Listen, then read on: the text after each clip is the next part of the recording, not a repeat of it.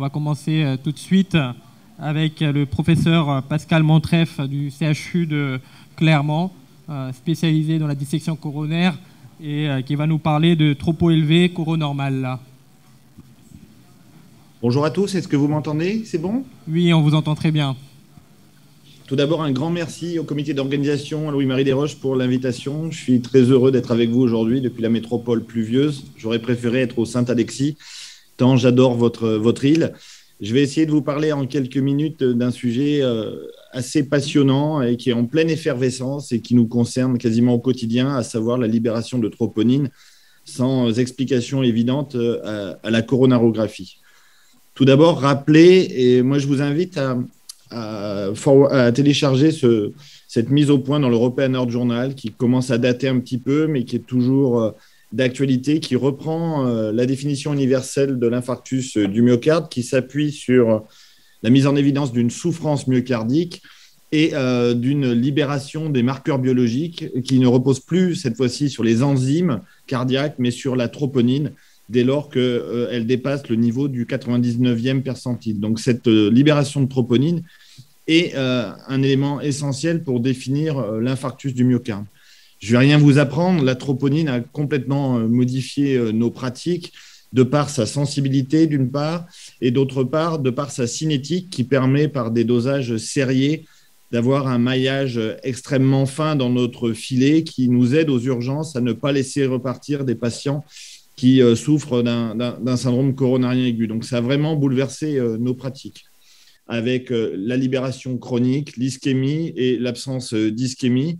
On peut euh, reprendre le catalogue des étiologies de libération de troponine avec un, phénomène marquant, c'est que l'étiologie la plus fréquente, principale, celle que l'on connaît, c'est la complication athérothrombotique, rupture de plaque, phénomène de thrombus, qui va entraîner le syndrome coronarien aigu. Et là, cette fois-ci, l'anomalie coronarographique est sans ambiguïté. On retrouve une occlusion ou une subocclusion euh, coronaire avec présence d'un thrombus. Ce qui va poser souci, c'est d'identifier toutes les autres causes. Et vous voyez, il y en a de multiples, soit une souffrance myocardique euh, latente chez une patiente pluritroculaire qui va passer en FA, une FA anginogène, d'autres étiologies plus exotiques comme le spasme coronaire, la dissection coronaire, l'embole, et euh, d'autres comme le Takotsubo, les cardiomyopathies ou autres pathologies aiguës. Donc toute l'enquête euh, diagnostique va reposer sur la traque à ces étiologies euh, euh, moins courantes. Donc comme je vous l'ai dit, la plupart du temps, 9 fois sur 10, c'est comme dans un épisode de Colombo, le coupable, il est très vite démasqué, c'est l'occlusion athérothrombotique et qui va entraîner un traitement qui est maintenant consensuel, repose sur une angioplastie primaire avec mise en place d'un stent actif. Il n'y a pas de discussion. Là où il peut y avoir euh, difficulté diagnostique, et c'est tout l'intérêt d'outils euh, spécifiques, c'est lorsqu'on est confronté à ce que l'on appelle un, MINOCA. La définition du MINOCA est maintenant parfaitement établie. Le MINOCA, c'est un infarctus sans occlusion euh, coronaire. La définition est universelle. Alors, quand on parle d'absence d'occlusion coronaire, ça ne veut pas dire que les artères sont lisses, mais on ne retrouve pas de rétrécissement à plus de 50% qui peut expliquer ce syndrome coronarien aigu. Donc, c'est quelque chose qui est de plus en plus fréquent. Un patient qui souffre ou qui a souffert, qui a de la troponine, mais qui n'a pas d'occlusion coronaire. Et c'est dans ce cas de figure que l'on va retrouver des érosions, des ruptures de plaques, des dissections, des spasmes, des takotsubo, des myocardites. Donc, autant d'étiologies qu'il va falloir euh, traquer. Euh, cette diapo, euh, elle est de mon cru, elle est critiquable pour montrer que dans certains centres, on trouve beaucoup de dissections, dans d'autres, on trouve beaucoup de spasmes c'est que je suis assez convaincu que euh, le diagnostic et sa sensibilité reposent sur le recours à des bons outils. C'est-à-dire avec un filet à papillon, vous aurez du mal à attraper un sanglier et euh, avec un double canon, c'est difficile d'attraper un saumon. Donc il faut choisir les bons outils pour arriver euh, au bon diagnostic. C'est un petit peu ce que reprend de manière moins imagée les recommandations européennes en insistant sur la nécessité d'un algorithme diagnostique. Il faut être extrêmement scrupuleux et utiliser les bons outils pour élucider ces syndromes coronariens aigus euh, insolites. Et ça repose essentiellement sur l'IRM myocardique qui va nous confirmer en premier lieu qu'il s'agit bien euh, d'un phénomène ischémique. Et une fois que l'IRM est réalisé, eh bien, il va falloir réaliser des tests spécifiques, soit de l'imagerie endocoronaire lorsqu'on soupçonne une euh, érosion de plaque, une micro-rupture, soit des tests pharmacologiques lorsque l'on soupçonne notamment un spasme.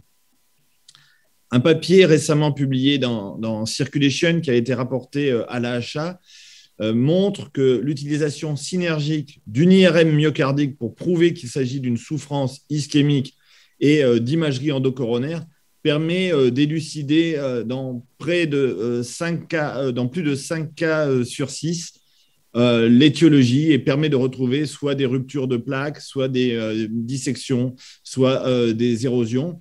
Et l'intérêt du couplage de ces deux techniques, c'est également d'écarter notre diagnostic et d'aller rechercher du spasme ou un phénomène thromboembolique. Donc, intérêt synergique de techniques dédiées pour avancer dans l'enquête diagnostique. Pour ceux qui ne sont pas familiers avec l'imagerie endocoronaire, historiquement, on s'appuyait sur des ultrasons, l'IVUS intracoronaire, ou euh, plus récemment l'OCT, la tomographie par cohérence optique, qui apporte une résolution encore plus fine et qui a un intérêt particulier dans le sujet qui nous concerne aujourd'hui. C'est une valeur prédictive de 100%. Lorsque vous ne voyez pas de thrombus en OCT, c'est qu'il n'y en a pas. Et donc, c'est extrêmement intéressant pour infirmer ou affirmer la présence d'un thrombus euh, coronaire. La littérature est de plus en plus riche sur le sujet et atteste que l'OCT est certainement l'outil de référence pour identifier des ruptures, des érosions, des nodules calcifiés, des fines chappes fibreuses, des thrombus ou des dissections coronaires spontanées. Donc autant euh, d'étiologies qui euh, souffrent d'un manque de sensibilité de l'angiographie et pour lequel l'imagerie de haute résolution est, un support euh, essentiel. Alors, ce dont je voudrais vous convaincre, c'est que ce n'est pas uniquement un exercice intellectuel pour trouver une étiologie, ça va avoir des conséquences euh, importantes pour nos patients parce que de cette étiologie va dépendre un traitement qui est spécifique. On ne va pas traiter de la même manière un Takotsubo qu'un spasme coronaire, qu'un embol, qu'une rupture de, plaque ou une dissection coronaire spontanée, d'où l'intérêt d'aller très loin dans euh, l'enquête étiologique. Il y a un phénomène euh, qui est marquant dans nos pratiques, c'est qu'on en a de plus en plus de MINOCA. On en a de plus en plus parce que la maladie athéromateuse progresse en métropole comme à La Réunion du fait des facteurs de risque, du fait qu'on a de plus en plus de patients jeunes et fumeurs et on sait que c'est dans ces euh, catégories de patients qu'on va retrouver une forte composante thrombotique. Et du fait aussi euh, de l'efficacité de notre système d'urgence préhospitalière avec une dose de charge puissante d'antiagrégants qui fait qu'arrivent en salle de coronarographie des patients pour lesquels euh, une grande partie du thrombus a été nettoyé et on ne retrouve pas toujours de lésions organiques qui sautent aux yeux. C'est vrai pour les, stémies et c'est également vrai pour le N-stémie du fait de la sensibilité de la troponine dont on parlait en introduction. On a de plus en plus de patients pour lesquels on évoque la maladie coronaire euh, à la lumière d'un dosage de troponine. Donc le fait que beaucoup de patients atterrissent en salle de coro précocement et bien pré-traités fait que la prévalence de Minoca euh, augmente. Alors, avant d'utiliser les, outils dont je vous ai parlé, il y a quelques principes de base pour le cardiologue. D'abord, pour essayer d'avoir une meilleure sensibilité diagnostique, faire une coronarographie de qualité. Et là, on insiste auprès des plus jeunes pour, même si on est obsédé par la radioprotection, avoir une cadence d'image et une qualité d'image suffisante. Ne pas hésiter à faire une ventriculographie. Je vais vous illustrer par un cas l'intérêt que cela peut avoir. De l'imagerie endocoronaire lorsqu'on en dispose. L'IRM myocardique, souvent en amont, en dehors de l'urgence pour confirmer qu'il s'agit d'un phénomène ischémique, et d'autres euh, outils, notamment la recherche d'un spasme par des tests pharmacologiques. Il n'y a qu'à ce prix-là qu'on va obtenir un diagnostic positif et écarter euh, des diagnostics différentiels. Je vais l'illustrer maintenant par un florilège de, de Minoca. Vous avez ici un patient jeune, euh, tabagique, consommation de drogue. Il a des douleurs thoraciques intermittentes. Vous voyez, si on fait la coronarographie et qu'on ne fait pas de test au métergin, on peut très bien évoquer une autre étiologie que coronaire. Là, on a la confirmation qu'il s'agit d'un spasme. On a pu reproduire ces symptômes avec modification électrique. Ce patient a un diagnostic d'angor euh, spastique. Ça peut marcher dans l'autre sens. Vous avez euh, un patient de 50 ans, fumeur, qui a cette coronaire droite euh, occluse en distalité avec des subocclusions proximales. on fait un test au Risordan, bien évidemment, et vous voyez que le Risordan fait mieux que les meilleurs des stents on a libéré complètement les réductions euh, de calibre et l'occlusion en identifiant un spasme coronaire. Donc la coronarographie, ce n'est pas quelque chose de figé. Ne pas oublier les outils comme les vasodilatateurs ou les tests de provocation de spasme. Ici, vous avez le cas d'une patiente de 74 ans qui s'est mise à présenter une forte douleur dans la poitrine au moment des obsèques de son mari, libération de troponine. La coronarographie est strictement normale. On a un petit peu oublié la ventriculographie, mais dans ce cas de figure, elle doit être systématique. Au moins, elle authentifie le piège à poulpe euh, qui est ce euh, Takotsubo avec un traitement euh, spécifique. Vous avez ici un patient de 31 ans qui doit beaucoup à la troponine. Il a fait une douleur inaugurale sur euh, son vélo. Euh, la douleur a cédé au bout de 30 minutes. L'électro est normal, mais la troponine est élevée. Vous voyez que si on fait une coronarographie un petit peu rapide chez ce jeune boulanger de 31 ans, on peut rapidement le cataloguer de, de coronaire saine.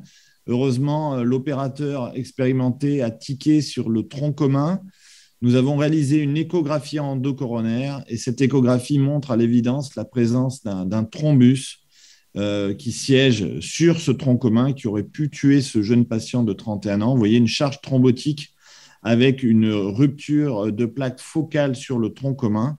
Un patient que l'on a traité comme on le fait euh, assez souvent chez ces sujets jeunes par un traitement empirique anticoagulant, double antiagrégation pendant un mois. Vous voyez que le tronc commun est, complètement euh, nettoyé à la coronarographie avec un bon ventricule gauche. On contrôle en OCT, qui est une imagerie de très haute résolution qui nous montre l'absence totale de thrombus. Je vous ai parlé d'une valeur prédictive de 100%. Donc ce tronc euh, commun est complètement nettoyé. Il y a une plaque athéromateuse non sténosante L'histoire à 7 ans, ce patient a arrêté de fumer, il a repris une bonne hygiène de vie, n'a jamais été euh, stenté. C'est une caricature de euh, Minoka. Vous avez ici un patient qui a tiré profit de, la synergie IRM-OCT.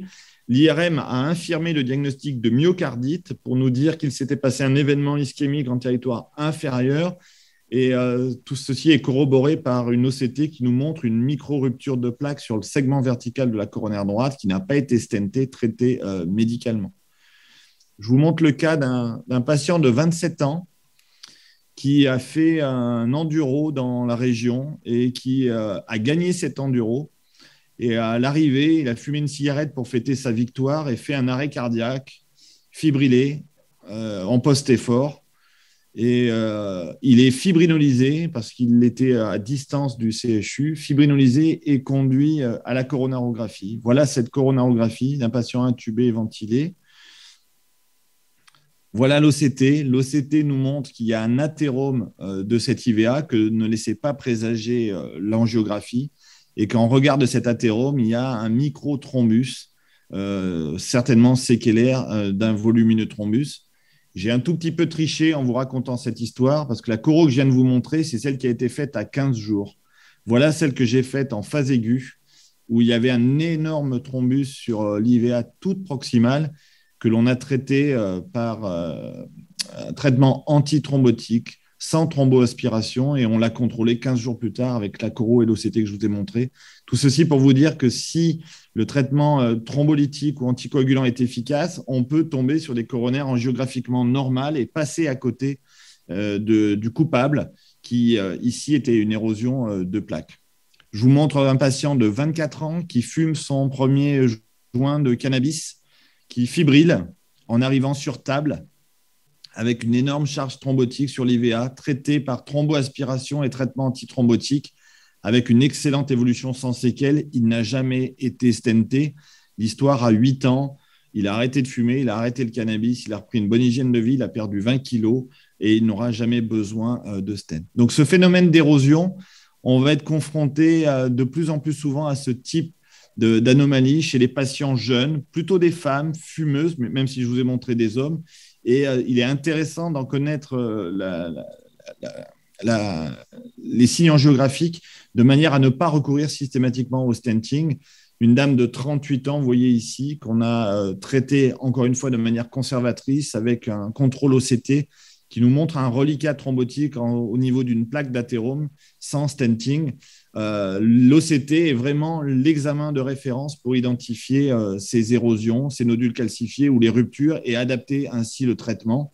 Il y a deux papiers un international qui a montré qu'il y avait une décroissance de la charge thrombotique et une bonne évolution sans stenting. Plus modestement, on avait publié notre série à Clermont-Ferrand de 46 patients non stentés sur des érosions avec une évolution à 4 ans qui est plutôt satisfaisante sans événement euh, aigu. Je vais conclure pour essayer de respecter mon temps de parole par un sujet qui me tient particulièrement à cœur, qui est l'infarctus de la femme et une entité euh, longtemps méconnue qui est la dissection coronaire spontanée. Chez la femme, comme chez l'homme, bien évidemment, l'étiologie principale, c'est euh, la lésion athérothrombotique. Mais dans 25 à 30% des cas, il peut s'agir d'un phénomène non athéromateux. Et les publications sont en, pleine explosion sur le sujet. Et si vous êtes intéressé, la mise au point la plus complète et la plus récente est disponible dans le New England. Je vous en ai mis euh, la référence. On a beaucoup travaillé à Clermont-Ferrand parce qu'on est peut-être l'épicentre métropolitain de la dissection. Je ne pense pas que ce soit une question de génétique.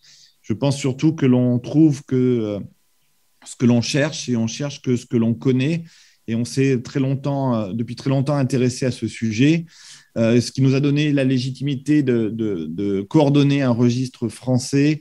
Et je remercie tous les participants. Un registre qui a permis d'inclure 373 patients, ce qui est la deuxième série mondiale.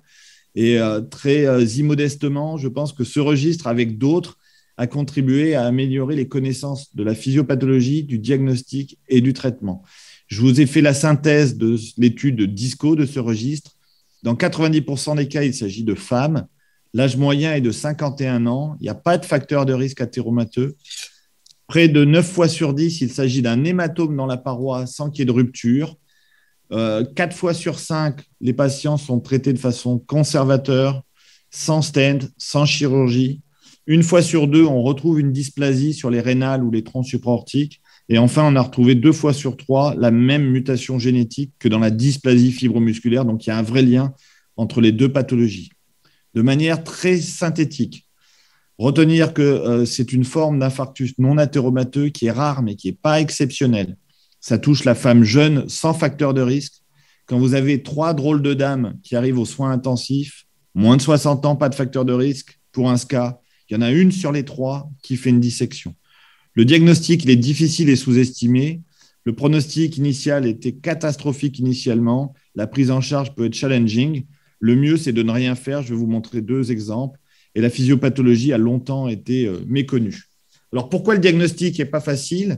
C'est que longtemps, on est resté sur la notion d'une dissection avec une déchirure dans la paroi qui saute aux yeux du coronarographiste, alors qu'en fait, comme je vous l'ai dit, le plus souvent, il s'agit d'un hématome dans la paroi avec une compression extrinsèque de la lumière sans véritable flap intimal. C'est ce qui fait toute la subtilité.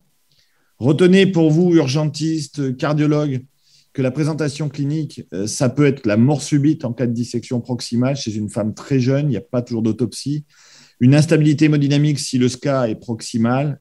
La plupart du temps, c'est des douleurs thoraciques. Je m'inscris en faux, les femmes n'ont pas des symptômes différents, c'est leur profil qui est différent, c'est-à-dire qu'on n'imagine pas qu'une joggeuse de 28 ans puisse faire un infarctus. Et enfin, elles doivent beaucoup, ces dames, à la troponine qui a permis enfin de les prendre au sérieux quand elles décrivaient des douleurs, alors qu'elles n'avaient pas un profil euh, stéréotypé. Le diagnostic, il repose sur des signes géographiques, sur l'imagerie endocoronaire quand il en a besoin, et enfin, le traitement doit être conservateur. Et ça, c'est un élément essentiel que l'on diffuse au DU de cardiologie interventionnelle. C'est un, moyen sûr de sauver des patientes, c'est d'essayer de ne rien faire et d'éviter des bêtises. Très succinctement, les signes angiographiques, on en a décrit cinq. Le premier, c'est l'absence de lésions athéromateuses. Donc, ce n'est pas une maladie athéromateuse, les artères sont lisses. En B, vous voyez un flap intimal. Donc, une fois sur cinq, vous avez cette déchirure quand vous avez cette déchirure, le produit de contraste, il stagne dans la doublure de la veste. C'est ce tatouage que l'on a en angiographie.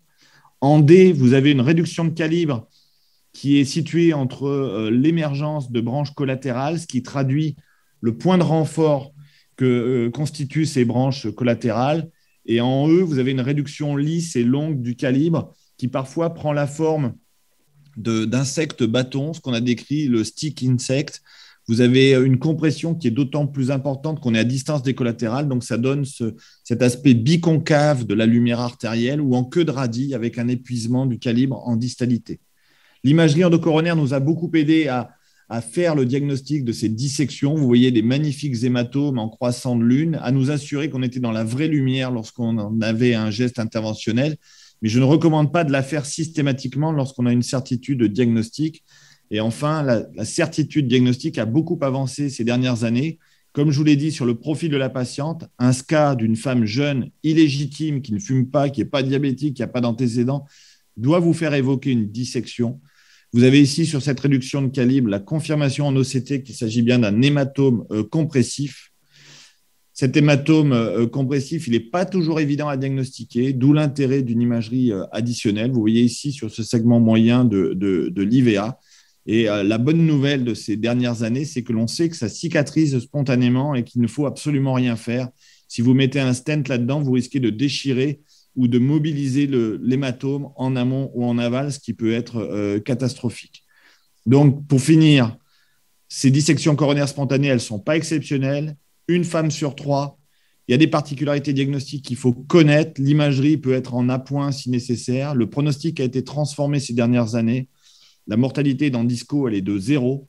Le traitement doit être conservateur si la patiente nous le permet, si l'état hémodynamique est stable, et il faut rechercher une dysplasie fibro-musculaire.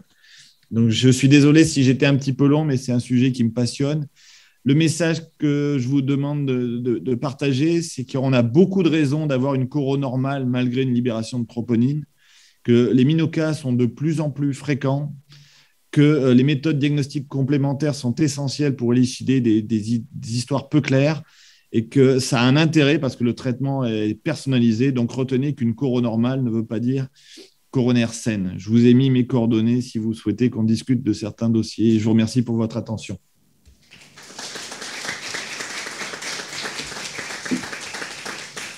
Merci, euh, merci beaucoup pour ce super topo. Euh, nous, en tant qu'urgentistes, souvent, on est euh, bien bien embêtés parce qu'on a des gens jeunes, des gens pas jeunes et avec des, des coronaires dont on ne sait pas quoi faire.